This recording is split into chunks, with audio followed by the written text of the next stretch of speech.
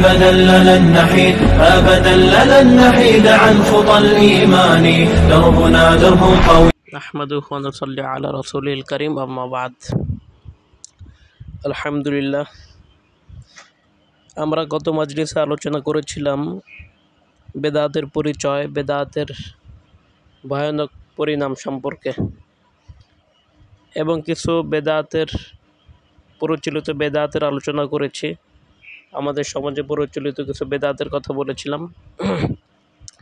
তে মাজলিসে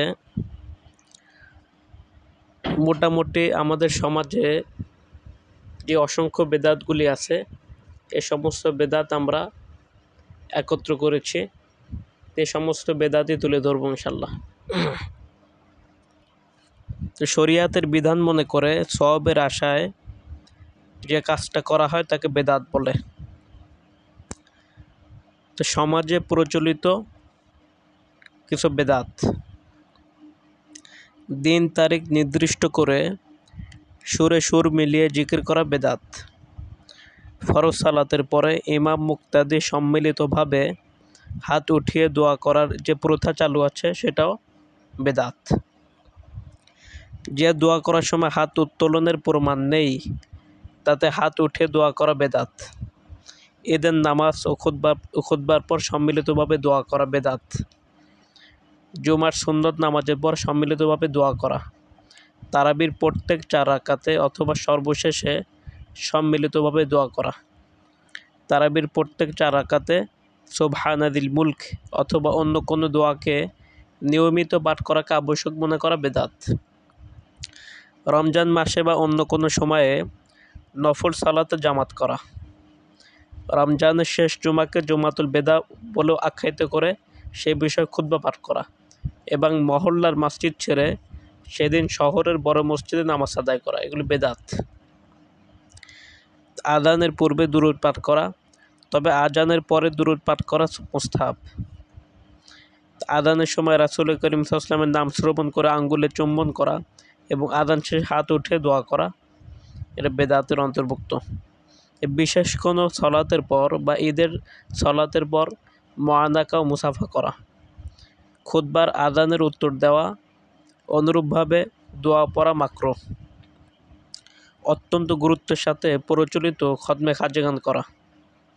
প্রচলিত খদমে ইউনুস ও বুখারি খতমের অনুষ্ঠান গুরুত্বের সাথে আদায় করা। কেউ মারা গেলে তার চল্লিশা বা দশা করা বা জিয়াফত করা। ইসালে সোয়াবের জন্য হাফেজ ডেকে কোরআন খতম করা। ইসালে সব ও কবর জিয়ারত করে তার প্রতিদান গ্রহণ করা হারাম। পীর দরবেশদের মাজারে মানত করা বরং এটা কি শিরিক? কবরে বাতি জ্বালানো, ফুল ছড়ানো, চাদর দ্বারা ঢেকে রাখা, চুম্বন করা বেদাত। কবরের দিকে মুখ মুখ করে সলাত আদায় করা, সিজদা করা, এরা হারাম এবং শিরকের পর্যায়ে। কবরকে কেন্দ্র করে অরস ওরস করা। কবর বাঁকা করা ও তার উপর গম্বুজ নির্মাণ করা, কবরে আদান দেওয়া, এগুলি বেদাতের অন্তর্ভুক্ত।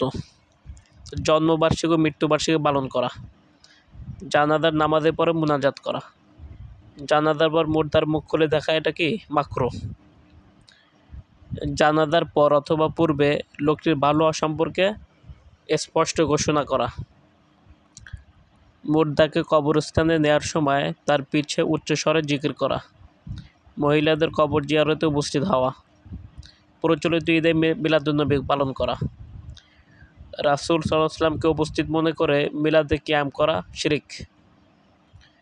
সলাতের পর বা কোনো অনুষ্ঠানে সম্মিলিতভাবে উচ্চস্বরে দূরত পাঠ করা। সলাতুর তাজবের নামাজ জামাতের সাথে আদায় করা। কোনো নফল নামাজ জামাতের সাথে আদায় করা।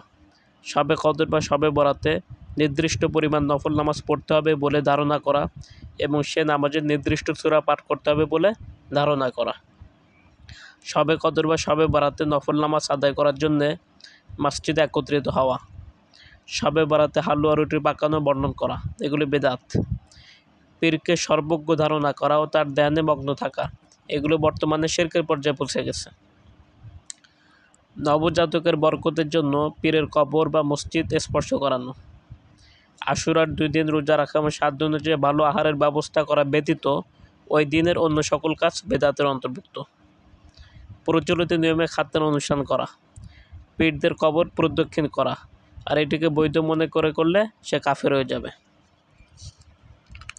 এইগুলো আমাদের সমাজে মোটামুটি বেদাত হিসাবে আছে। আর আসলে এই বেদাতগুলির কিছু কারখানা আছে। তো এই কারখানাগুলোর থেকে এই সমস্ত বেদাতগুলি সাপ্লাই হয়। তো আমাদেরকে এই সমস্ত বেদাত থেকে দূরে থাকতে হবে।